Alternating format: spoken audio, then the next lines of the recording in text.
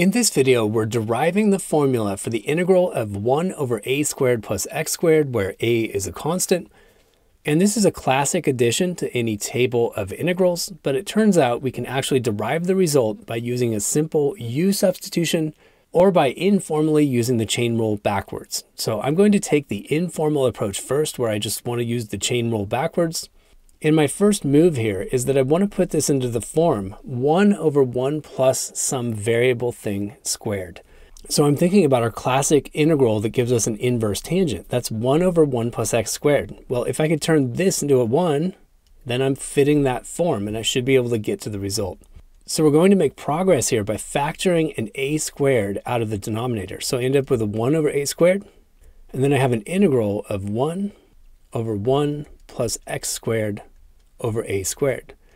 Well, that x squared over a squared can be written as an x divided by a all squared. Now this integrand fits the form of the integral that gives us the inverse tangent function. The only problem is I have a function composition here where the interior function is x over a. So this thing is going to interact with the chain rule when we take the antiderivative. Now to prepare for that in an informal way, what I'm going to do is just tack on the derivative of the interior function, and that's just 1 over a. In other words, I divided the inside of this integral by a. That means I have to multiply the outside of the integral by a, and all that does is cancel one of the a's. So with the derivative of the interior function appearing in the integrand, it makes it very simple to guess the antiderivative. Basically, we've just taken care of the effect of the chain rule already. So there's a 1 over a out in front that's the spectator here. And then 1 over 1 plus something squared integrates to the inverse tangent of that thing, which is x over a. And we should tack on a plus c, and we're done. All right, so let's see how the formal u substitution approach goes. So you still have to recognize at the beginning of your approach to this integral that it's the a squared out in front here that's problematic. I'm trying to get the form 1 over 1 plus a variable thing squared. I need to have a 1 there instead of an a squared.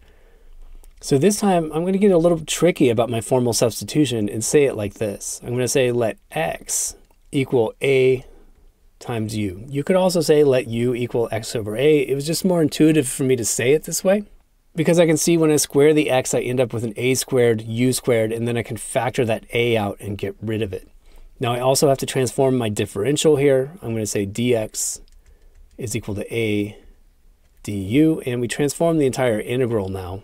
And in my denominator, again, I have an a squared plus an a squared u squared. The whole plan there was to factor the a squared out.